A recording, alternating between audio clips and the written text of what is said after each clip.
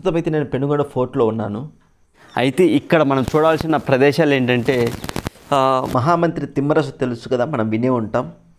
శ్రీకృష్ణదేవరాయల కాలంలో మహామంత్రిగా పనిచేశారు. అయితే ఆయన్ను బంధించినటువంటి శ్రీకృష్ణదేవరాయలు కృష్ణదేవరాయలు బంధించి అతని కనుగుడ్లు పీకేసి అయితే ఆ బందీ కనుగుడు నేను ఇప్పుడు మీకు చూపిస్తాను. అలాగే ఇక్కడ శ్రీకృష్ణదేవరాయలు వేసవి విడిదికి ఉపయోగించే ఒక హౌస్ ఉంది. ఆ మహల్ను నేను ఇప్పుడు మీకు చూపిస్తాను.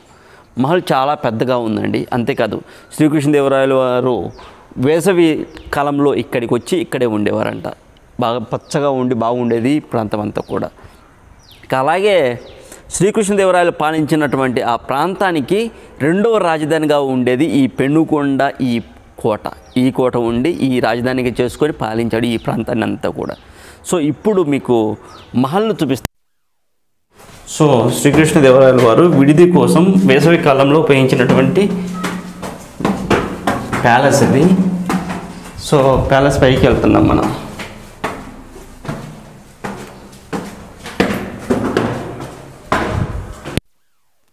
సో వెంకటేశ్వర స్వాముల వారు ఇక్కడే వెలిసి ఉండాల్సింది. కాకపోతే కాలి గోరంత రాయి తక్కువైందంట ఇక్కడ. అక్కడితో పోల్చుకుంటే ఇక్కడ. అందుకనేసి అక్కడికి వెళ్ళి అక్కడ వెలిచారు స్వాముల వారు. ఒక హిస్టరీ. పైన అండి ఇదంతా కూడా. మహల్ పైన. ఇక్కడ మళ్ళీ ఇక్కడ రాజుల వారు వచ్చేసి రాజ్యసభ అనేది ఏర్పాటు చేసుకునేవాళ్ళు ఓకే. అతనికి ఇద్దరు భార్యలు చిన్నమ్మదేవి తిరుమలదేవి. ఆ, వాళ్ళకు సపరేట్ వాళ్ళకు సపరేట్ ఉండరా అని ఓకే. ఇక్కడే రాజ్యసభ. అంటే ఎవరు ఎక్కడ ఉండాలి ఏం చేయాలి ఇదంతా డెసిషన్స్ ఇక్కడే. పైన చూడండి ఇలా ఉంటుంది.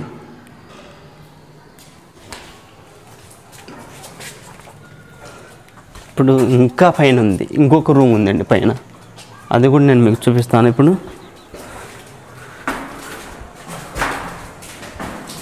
వేసవిలో విడిది కోసం ఉపయోగించే మహల్ అండి ఇది శ్రీకృష్ణదేవరాయలు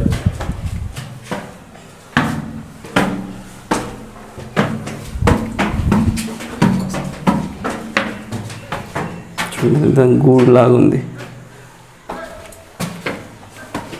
వెలుతురు కోసము లైటింగ్ గాలి కోసం మంచి ప్రిఫరెన్స్ ఇచ్చుకునేవాళ్ళు కదా? ఈ మహల్ చరిత్ర ఏమంటే ఆ, దీనిని సముద్రపు గవ్వలు కోడిగుడ్డు సొన సున్నం. కరక్కాయ నీళ్ళు ఓకే. బెల్లం నీళ్ళు ఇసుక ఓకే. వేసి కట్టిండేది. ఇందులో? ఎంత ఎండ కాస్తుంది ఎంత ఎండ ఎక్కువ కాస్తుందో అంత కూల్గా ఉంటుంది.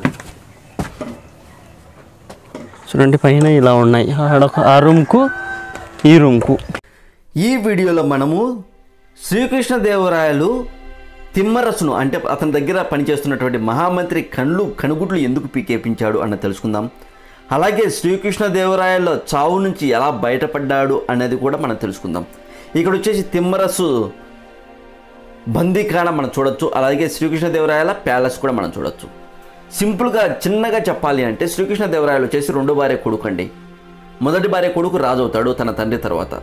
అయితే మొదటి భార్య కొడుకు కొడుకు పుడతాడు మళ్ళీ. అంటే శ్రీకృష్ణదేవరాయల అన్నకు కొడుకు పుడతాడు. అయితే శ్రీకృష్ణదేవరాయల అన్న మంచాన పడ్డంతో తన రాజ్యానికి ఎక్కడ శ్రీకృష్ణదేవరాయలు రా రాజు రాజుగా అవుతాడో అని ఆలోచించి తన కొడుకు రాజ్యం రావాలని తన ఆరేళ్ళ కొడుకును రాజుని చేసి శ్రీకృష్ణదేవరాయల కళ్ళు పీకేయమని తిమ్మరసుకు చెప్తాడు. తిమ్మరసు వచ్చేసి అక్కడ సైనిక అధికారిగా ఉంటాడు వాళ్ళ దగ్గర. అయితే తిమ్మరసు శ్రీకృష్ణదేవరాయలను తీసుకెళ్తాడు దూరంగా. అయితే శ్రీకృష్ణదేవరాయలు అంటే తిమ్మరసుకు చాలా ఇష్టం. అందుకనేసి శ్రీకృష్ణదేవరాయలను ఏమి చేయకుండా ఒక చోట దాచిపెట్టి మేక కనుగుళ్ళు తీసుకొని వెళ్తాడు శ్రీకృష్ణదేవరాయల అన్న దగ్గరికి. మీ సవతి తల్లి కొడుకును చంపేశాను అంటే శ్రీకృష్ణదేవరాయలను చంపేశాను ఇది అతని కనుగుడ్లు అని చూపిస్తాడు. అప్పుడు శ్రీకృష్ణదేవరాయల అన్న హ్యాపీగా ఫీల్ అయ్యి ఇక నా కొడుకే రాజు. నా కొడుకుని రాజుని చేసి నువ్వు దగ్గరుండి ఈ పరిపాలన చూసుకో అని తిమ్మరసుకు చెప్తాడు. ఆ తర్వాత మరణిస్తాడు శ్రీకృష్ణదేవరాయల అన్న. ఇది జరుగుతుంది. అంటే శ్రీకృష్ణదేవరాయలను తిమ్మరసు కాపాడాడు. సో అంతా అయిపోయింది అనుకున్న సమయంలో ఇంకా అతను చనిపోతాడు.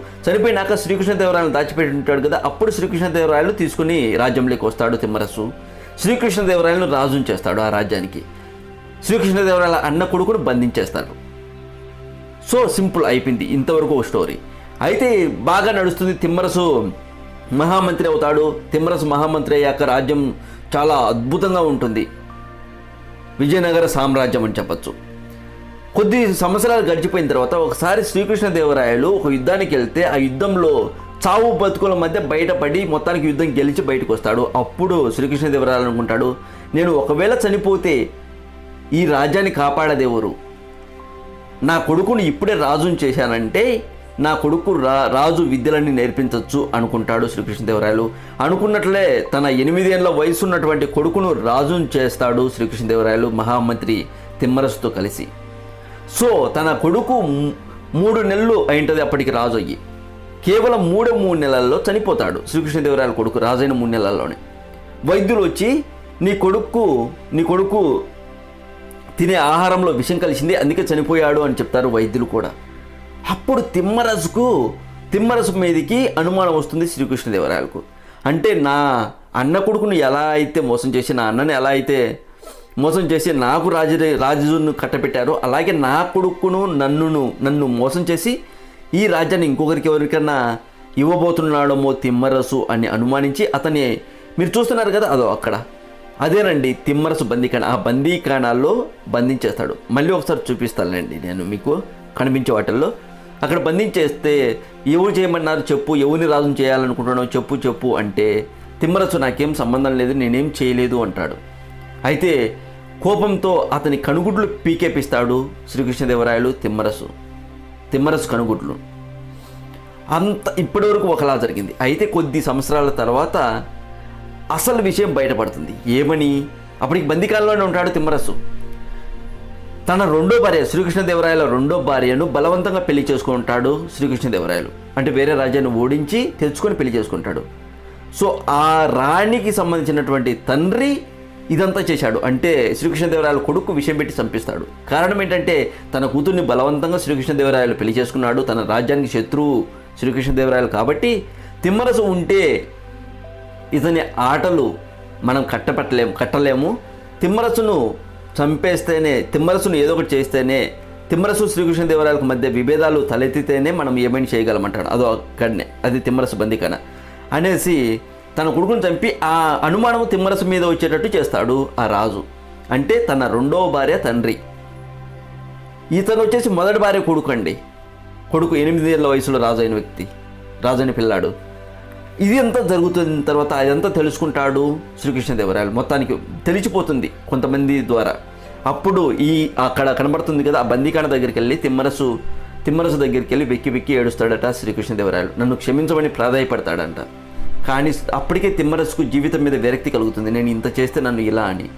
అంటే అప్పటి వరకు తిమ్మరసును అప్పాజీ అప్పాజీ అని పిలిచేవాడు శ్రీకృష్ణదేవరాయలు అంటే తండ్రి లాంటి వాడు అని. ఎందుకంటే తన ప్రాణాలను కాపాడి తను రాజును చేశాడు కాబట్టి. సో అప్పుడు తిమ్మరసు అడుగుతాడంట ప్రభు నన్ను వదిలేయండి. నాకు ఈ రాజ్యం వద్దు నాకు ఈ పదవులు వద్దు ఏమొద్దు మహామంత్రి వద్దు నాకేమొద్దు నేను నా మిగిలిన జీవితాన్ని ప్రశాంతంగా గడుపుతాను అంటాడంట. అందుకు శ్రీకృష్ణదేవరాయలు నీకు ఏ రాజ్యం కావాలంటే తీసుకుని నువ్వే రాజు అవ్వు అని ప్రాధాయపడినా కూడా తిమ్మరసు మాత్రం అందుకు ఒప్పుకోడు. ఆ తర్వాత తిమ్మరసు తన మిగిలిన జీవితాన్ని తిరుపతికి వెళ్ళి గడిపాడు అని చెప్తారు. ఇదే బంగ్లాలో శ్రీకృష్ణదేవరాయల కొడుకు విషం పెట్టి చంపుతారండి. వేరే రాజు చంపుతాడు. అంటే తన రెండో భార్య తండ్రి చంపుతాడు. విషం పెడతాడు.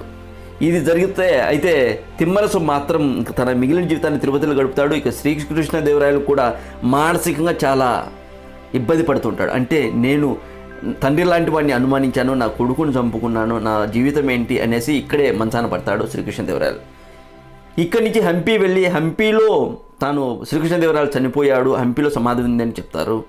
సో అది ఒకటైతే తిమ్మరసు మాత్రం తన చివరి కాలంలో ఈ పెనుకొండకే వస్తాడండి తిమ్మరసు. ఈ పెనుకొండకు వచ్చి ఇక్కడే మరణిస్తాడు. ఇక్కడే ఈ పెనుకొండలోనే తిమ్మరసు సమాధి కూడా ఉంది. కాకపోతే ఆ సమాధిని నాకు చూపించడానికి ఎవరు లేకపోవడం వల్ల నేను చూపించలేకపోయాను. దయచేసి నన్ను క్షమించండి. నేను చాలా ట్రై చేశాను. నేను ఒక్కని వెళ్ళి తీయడానికి కూడా ట్రై చేశాను కానీ నాకు అక్కడ కనిపించలేదు. అక్కడ ఎవరు నాకు హెల్ప్ కూడా చేయలేదు. చాలా అందరినీ చాలామందిని అడిగాను మహా లేదు మాకు పని ఉంది మాకు పని ఉంది అని చెప్పడం వల్ల నేను అంటే నాకు సరైన వ్యక్తి దొరకలేదని చెప్పచ్చు అక్కడ ఆ ప్రాంతానికి వెళ్ళినప్పుడు నేను. ఇది జరిగింది. ఇదంతా కూడా పెనుకొండ పోర్ట్ అండి. ఆ కొండంపటి ఉంటుంది పోర్టు. ఆ కొండం కొండంపటి ఫోర్ట్ ఉంటుంది. అంటే ఆ కొండపైన కోట కట్టుకున్నాడు శ్రీకృష్ణదేవరాయలు అంటే ఊరు ఆ కోట మధ్యలో ఊరుంది పెనుకొండ ఊరు. ఆ కొండపైన అంతా ఫోర్ట్ ఉంది. ఇదే పెనుగొండలో నేను తీసినటువంటి వీడియో.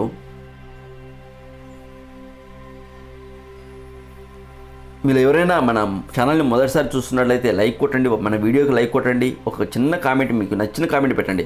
మీరు పెట్టే కామెంట్ వల్ల మీరు కొట్టే లైక్ వల్ల మన వీడియోకి ఎక్కువ రీచ్ వస్తుంది ప్లీజ్. ఒక్కసారి చేయండి. అలాగే మీరు ఎవరైనా సబ్స్క్రైబ్ చేయని వాళ్ళు ఉంటే దయచేసి సబ్స్క్రైబ్ చేయండి please.